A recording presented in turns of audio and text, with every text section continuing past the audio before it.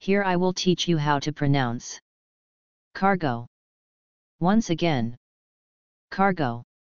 Well done, see you soon.